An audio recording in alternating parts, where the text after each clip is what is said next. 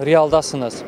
Xəbər verdiyimiz kimi sentyabrın 16-sı Türkiyənin Ankara şəhərində Rusiya, İran və Türkiyə prezidentlərinin sammiti keçiriləcək və bu görüşdən əvvəl həm ə, Türkiyə prezidenti Rəcəb Tayyib Ərdoğanın, həm də İranın Xarici İşlər naziri Məhəmməd Cavad Zərifin Rusiya səfəri çərçivəsində sammitin detalları müzakirə olunub və müzakirə olunacaq mövzular da ətrafında da fikir fikir mübadiləsi aparılıb və bu görüşdə Rusiyanın gözləntiləri barədə isə bizə Rusiyanın Valday klubunun həm də Rusiyanın birinci kanalının eksperti Fərhad İbrahimov məlumat verəcək.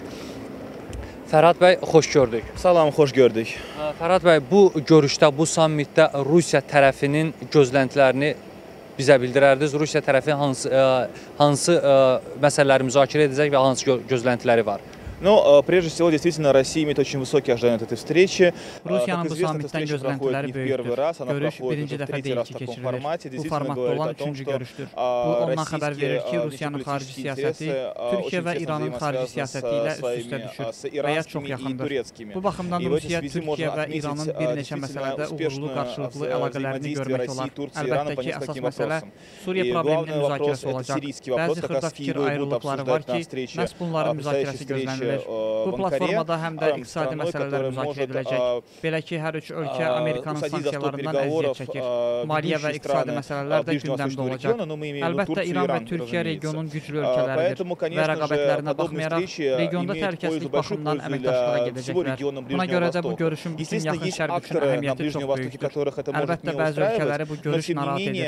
Buna baxmayaraq, həm Türkiyə, həm Rusiya, həm də İranın bu məsələlərdə ortaq nöqtələri var və bu yaxın şərqdə problemlər интересы, edilməsinə которые yardım бы edəcək. способствовали скорейшим а, разрешению скорейших проблем на Ближнем Востоке. Növbəti sual, ə, bəs İran, Türkiyə və Rusiya üçbucağının başqa layihələrdə də uğurlu fəaliyyəti gözlənilirmi? Buna münasibət necə bildirərdiniz? Да, вполне возможно, что у трех стран а, вот как раз-таки в рамках обсуждений на платформе этого геополитического треугольника России, Турции, Иран, конечно, есть большие шансы для того, чтобы эти три страны дальше взаимодействовали. не только по вопросам безопасности там, и вопросам Сирии, но это может касаться, например, а, а, и вопросов урегулирования каких-либо спорных моментов и конфликтов, которые имеются в регионе, а также то, что есть какая-то возможность для того, чтобы Э, обсуждать экономические вопросы с странами бывшего Советского Союза, но и также ведущими странами региона, коими являются и Турция, и, конечно же, Иран в какой-то степени Поэтому, конечно же, а, здесь а, геополитический треугольник России, Турция и Иран может иметь а, будущее, причем огромное будущее. Оно может быть связано не только с вопросом обсуждения Сирии, оно может иметь вопросы и экономического взаимодействия, и партнерства с Евразийским Союзом, Ну и а также урегулирование конфликта конфликтов а, в тех или иных а, точках а, в регионе ближне- Большого Ближнего Востока. Fərhad bəy, təşəkkür edirik Teşekkür sizə. ederim. Teşekkür ederim. Çok sağ olun. Çox sağ olun məlumata görə. Çok sağ olun.